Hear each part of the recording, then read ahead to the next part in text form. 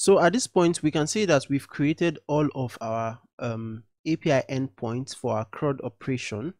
So um, I'll change this back to put, so PUT, and then even my testing also, I'll just change it back to put. All right, so now that we've gotten all our API endpoints created, there's some modification we need to do in this our application here. Now, if you look at this application, um, this task route, you will notice that all of these routes have something in common right? One two three four five. The five of them have something in common. So let's look at it closely. You notice that all of them have this api forward slash task. So you see api task api task api task and last one. So because they all have this in common we can actually just push all of this text api forward slash task to our server. So let's come back to our server. Remember that we did this middleware, we applied this middleware api.use to point to our task route. Now, actually, what we can do is because um, of these API tags that they all have in common, we can come here and before this task, we'll specify the route that we want to apply to all of the tasks, all of the routes, sorry, in our task routes. So I'm going to come here and I'll just add forward slash API forward slash tasks.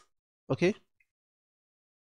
And what this will do is that it will just append this piece of text to all of the routes from this our task route.js file. So what this means definitely is that you don't now need to have this API task in all of them. So let me just delete everything at once. Like so and like so. Yeah so i'll just go ahead and delete it. All right so in this first one we're just going to say forward slash. Then the other ones of course this one too is going to be a forward slash. Then the rest will just be um, forward slash colon id right because from our server we've already added this api forward slash tasks to all of the routes inside of this task route.js file I hope you understand what's actually going on here. Now let's go ahead and save both files. So I'll save and I'll come here as well and I'll save. All right. So, but we need to just make sure that nothing has broken in our application. So I'll come here and just test maybe the get all task route, send. And as you can see, everything still works.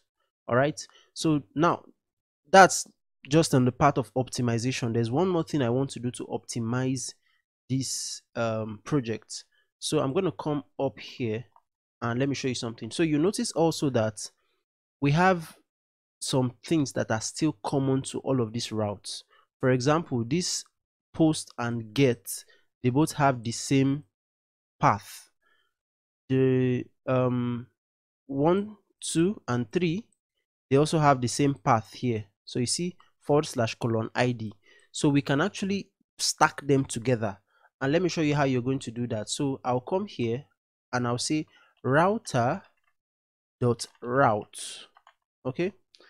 Then i would define the path which is forward slash so you see this forward slash now can ap apply to both these two routes the post and the get route all right now i'll now append the methods or the function that I want to be executed on this path. So the first one is to do a get method. So you see this get here, I'll just say dot get. And for the get, we are running this function to get tasks. So I'll say get tasks. All right. Then I also have this dot post on this route. So I'll just come here and append the post method and what's the function we are running the create task so i'll say create task okay so you see now i've compressed these two lines of code into just this single line now i personally i actually prefer this one okay? This one here. Although it has more lines of code but i prefer it because it's neater it's easier to read. But i just wanted to show you this one also. Then for these other guys here that have the similar path I'll just come down here and create another one. I'll say router, sorry, I'll say router dot routes. So I'll define the route first and the path is going to be forward slash colon id. Then I'll now append all of this. So let's start with this one. So dot get and where what function are we calling? So we're calling the get task singular. So I gotta come here and say get task. Then I would also append what's the next one? The uh delete and then I'll say delete task. So dot delete and it's going to call the function to delete task. Okay the last one now is dot put which will call the function to update task so i'll say dot put. Okay uh, let me make sure i did that correctly. Okay so dot put which is going to call the function to update task. Yeah? All right so technically what we've done is that we've compressed these five lines of code into just these two lines. But if you think about it, you notice that the two lines is longer. So it's almost the same thing. Personally, I prefer to use this, but I just want you to have the information. So to test it, I'll comment out all of this and then I'll just use this one. So I'll save it and then we're going to test it one more time. Okay, so our server has started. I'll come here and okay starting rather. Come on. All right yeah. So now i'll come here. Let's fire the get all task. That works. Let's create a task. And i'll just do task. I don't know if i've created task 7 but let me just do okay i don't think i have. I'll send this. Aha so you see it works. Let's get a single task. I, oh okay so i first need to copy the id of a task that already exists.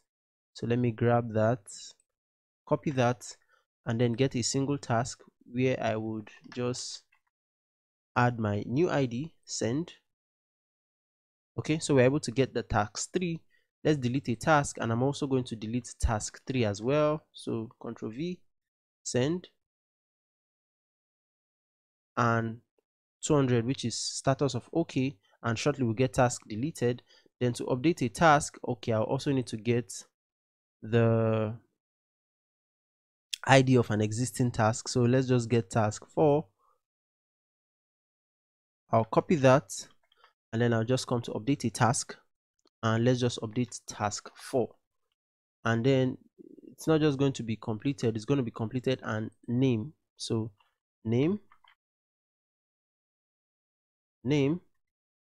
And then the name is going to be task 4 updated. All right let's change this to true true and then send. Voila so task 4 updated completed status is set to true. So all the routes work. I mean it works just fine.